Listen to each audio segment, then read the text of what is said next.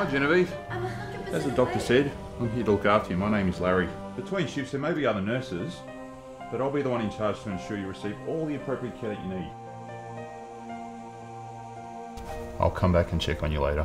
I don't want to be alone here in the darkness. Help me. Help me, please. Don't leave me here. She'll be okay. How do you know each other? We met when we joined this uh, community music group. Okay, so Genevieve's a musician, eh? She used to be. Till she met her husband Steve. And he wouldn't allow her to join the group anymore. Fucking prick. I'm sorry, like, he just makes my blood boil. Okay, why didn't he allow it? God, the signs were there all the way back then. What is this? Security!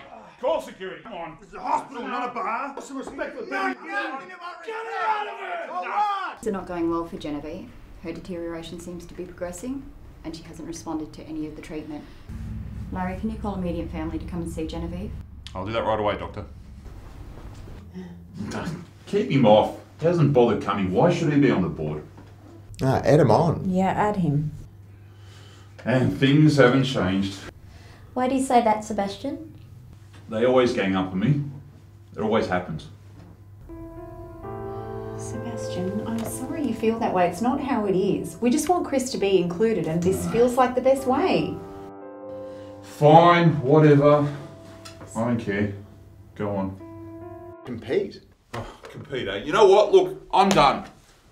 I've had enough of this. I'm sorry, Adele. I'm really done. I'm over this. Eight years can be the rest of my life. I don't care. I'm done. Or you could sit back down and complete this like a man. Please, boys, let's make this safe for everybody. Please sit down, boys. Get out of my way. I said, get out of my fucking way! Everything's okay, and they're not, and people get shocked. That's way worse. So, how did you develop that belief?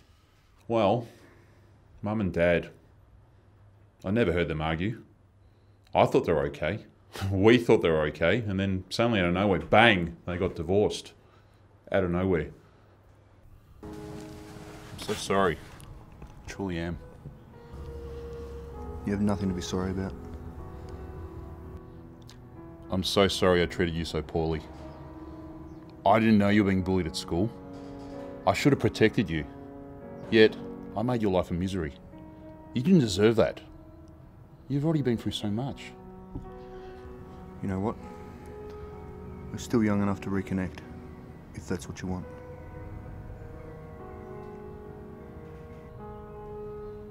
Yeah, I do.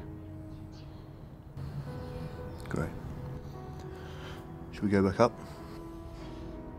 I've got so much I need to tell you. But yeah, let's get back up there.